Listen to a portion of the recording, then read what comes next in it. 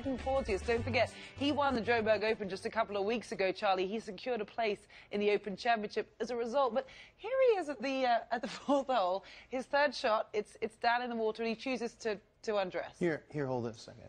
No, Charlie. No, please, no, please, no, please, no, please, no, please no, look, no. keep it on. The mic wire won't work.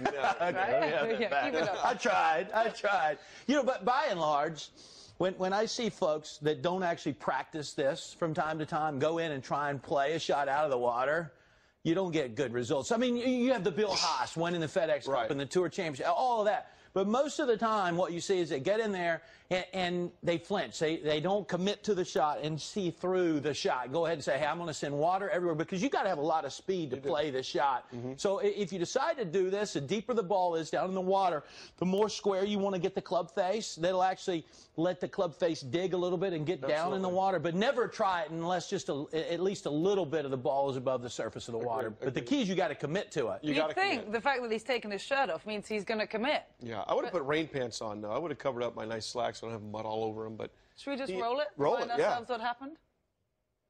He's trying.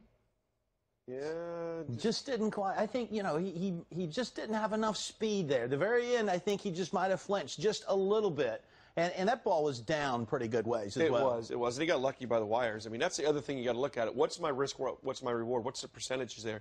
If I if I hit a good shot, I get it on the green. Maybe I can get it up and down, or can I get it up and down? If not, you take a drop. It looks like a pretty simple chip. Mm-hmm. just chip it on the green and take your one-stroke penalty. In general, I don't recommend trying this. Right. You don't. It makes sense and it This tends doesn't to pull these off. But you'd think in a round of golf you'd have one shot like that. Well, fast forward five holes, and here he is at the ninth hole, guys.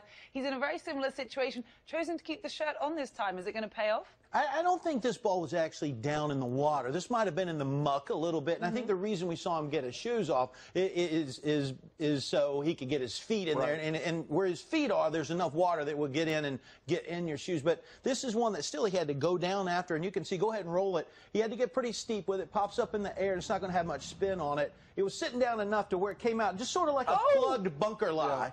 But uh, and he got lucky there. I mean, It it, was. was. a decent shot, but he did get lucky in hitting the It was, flag. it was a good and a bad break because if it doesn't hit the pin, it probably runs by 15 feet, and it could have gone easily in the hole too. So worked out. The one thing I would tell him from watching these two shots: hit more club. He's short on both shots. hit one more club each time, and he's got a putt for birdie. Good advice right there. And no need to take the shirt off, guys. You know, it- keep the shirt on. The shot works out. For the better. No. Let's keep it on. Let's Keep it on, Charlie. No.